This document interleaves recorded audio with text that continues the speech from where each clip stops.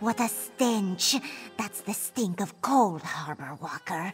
How such a fearsome and dangerous creature ended up dead beneath our favorite rocky outcropping, this one does not wish to speculate. Only an extremely powerful mage could summon such a monster.